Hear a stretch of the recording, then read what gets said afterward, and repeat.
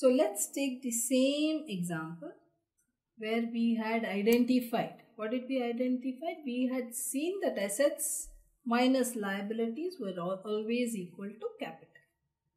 Now we will see the rules. We will see what is debited and what is credited. How are we going to do that? We will first see what is the transaction which is given to us here. Capital introduced, deposited cash into bank, bought furniture, bought goods, sold goods, etc. etc. etc. So we'll have the transaction. Identify the transaction. Then what do we have to do? Identify the accounts involved. Like in our previous example, it was furniture and cash. Once you identify the accounts involved, the items involved, then we have to decide whether we have to we have to identify whether that is a asset it is account is the asset is a liability is an income or an expense once we know it is an asset if we think it is an asset increase in asset we will debit decrease we will credit if it is a liability we are talking about then increase in liability we will credit and decrease in liability we will debit Similarly, with respect to expense, we had the rules. What was it? The same as in case of an asset. If there's an increase in expense, we will debit. And if there is a decrease in expense, decrease in expense, then we will, then we will credit. Similarly, with respect to income, what do we do? Income is just the same as liability. So what do we do? If there is an increase in income, it is credit. Increase in income is credit. And decrease in income will be a decrease in income will be a debit will be a debit okay with this let us consider the transaction is given to us very clearly capital introduced 5 lakhs so what are the accounts involved when capital is introduced first money comes in so cash comes in next what happens who brings in the money the owner the proprietor so now once the proprietor has given money, it is as if the proprietor is lending money to the business. So in the books of the business, remember they are two separate entities. The owner is separate, business is separate. We are recording transactions in the books of the business. We are going to pass accounting entries in the books of the business. So now the business owes this money to the proprietor.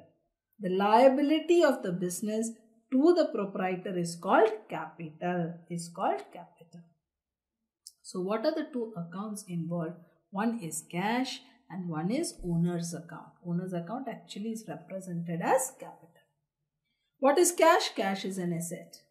What is this owner's account? Liability to the owner, right? It's capital. Like I said, this is actually called capital. Liability of the business to the owner is called capital. Cash has come into the business. There is an increase in cash, increase in cash, therefore we debit cash. Therefore we debit cash. What about the owner's account? Now money is owed to the owner. The business has a liability to the owner. Liability has increased. Asset has increased, liability has increased. Therefore, we credit owner's account. We actually credit capital account. Owner's account is represented by capital account. Let us try this again. Deposited cash into bank. Deposited cash into bank. So what are the two things involved? When you deposit cash into bank, one amount of cash comes down. So one is cash. The other is we are giving this money to the bank. We are giving this money to the bank. So tomorrow if the business needs this money, they can take it back from the bank. It is a receivable. So let us see the two accounts involved are cash and bank. Accounts involved. What is cash? Cash is an asset. What is bank? What is bank? Bank, we have given money to the ba bank. Therefore, this is receivable. Just like when the proprietor gave money to the business, the business now has a liability to the proprietor. Similarly, when the business gives money, when the business gives money to the bank, the bank is an asset. It's an asset. Receivables are asset. Tomorrow I can collect this money from the bank. It is receivable. I can take it from the bank. The bank owes me this money. I have lent it to the bank, so to say. So, bank is also called an asset.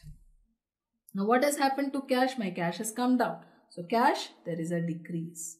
Bank, there is an increase. So I'll credit cash and I will debit bank.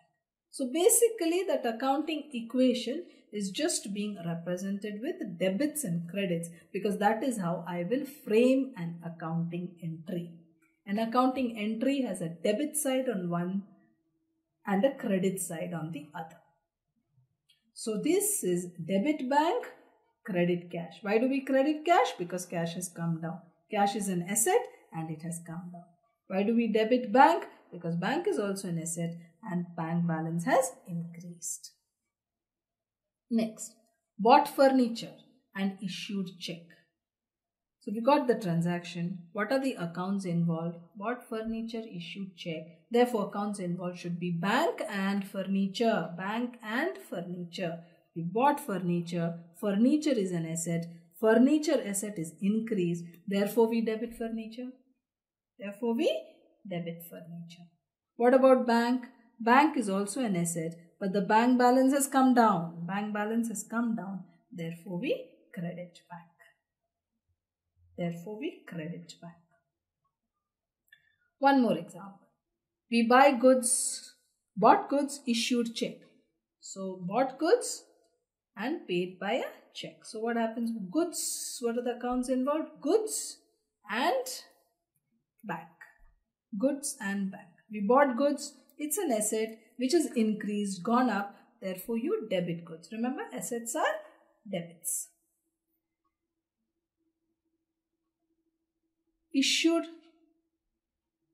check. So the bank balance has, it's an asset and has come down. Therefore, we credit bank. We credit bank. Bought goods on credit from Azad. Bought goods on credit from Azad. So there is goods and there is Azad. Right? Goods has increased. Goods is an asset. Goods has increased Therefore, we debit goods. Goods bought on credit from Azad means we have purchased the goods from Azad. We have not yet paid him. Therefore, we have a liability to Azad now. We have a liability to pay Azad now. Therefore, this is a liability. Increase in liability is a credit. Increase in liability is a credit. Similarly, we paid rent. Paid rent of 20,000 when you pay rent what are the expense what are the accounts involved? The accounts involved here are rent and cash.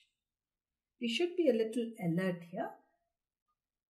When we make a rent payment we pay money to the landlord. But it is not the landlord's account which comes in but it is the rent account which comes in. Why is this? Because if we say it is landlord account it would actually mean that we have to get this money from the landlord. That is not the case. Rent is something we are we are making a payment for, maybe use of the premises which has been given to us by the landlord. So when we make payment of an expense, payment of an expense to a particular person, it is not the person who comes into the accounts. The account involved is actually the particular expense. We are paying to the landlord on account of rent. So what is the what is the account involved here? Not not landlord account but expense account or rent account. So what is rent? It's an expense. Increase in expense, increase in asset are debit. So we debit rent. What happens to cash? Cash is an asset but cash has come down because we have paid the money. Therefore we credit cash. Decrease in asset is credit. Sold all goods and received check of 4.2. We sold goods. So goods is affected we got check, therefore bank is affected. The only problem here is that we received a check for 4.2 lakhs but the value of our goods was only 3 lakhs. You remember we bought goods for 1 lakh here and we bought goods here for in the previous example not given here this was actually for 2 lakhs. This was actually for 2 lakhs. So we got goods for 3 lakh, but we are selling for 4.2. We are straight away making a profit of 1.2. So we now have a bank account, we have a goods account, and we have a profit account. Profit belongs to whom? To the proprietor. Therefore, I have just said capital here. Capital here. So, bank is an asset. Money has come into the bank. Increase bank. Increase bank. Bank balance has come up by 4.2. We've sold all the goods. Goods have gone. Asset has gone. Decrease in asset. We credit goods for an amount of 3. Because the cost of our goods was only 3 and this 1.2 is profit of the business. Profit of the business belongs to the proprietor. When the business makes profit, it its liability to its owner increases. Liability to the owner increases. So its capital is liability increase. We credit capital for 1.2. So you have 3 plus 1.2 equal to 4.2. This is how we go about passing accounting entries, deciding which account is to be debited and what is to be credited. Identify the transaction, identify the accounts involved. Once you know what are the accounts involved, so what is the nature of the account? Is it an asset or a liability? Is it an income or an expense? Then apply the rules. What was the rule? Increase in asset debit, therefore decrease in asset credit. Increase in liability is credit. Increase in liability is credit. Decrease in liability is